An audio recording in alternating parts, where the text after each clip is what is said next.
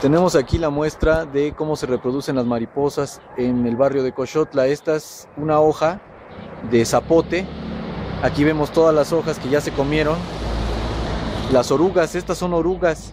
La gente generalmente se espanta cuando ve estos animales. Se espanta porque piensa que son venenosos o que pueden picar a alguien, pero en realidad son animales muy inofensivos que lo que tienen que hacer es comer y dormir para después convertirse en una hermosa mariposa.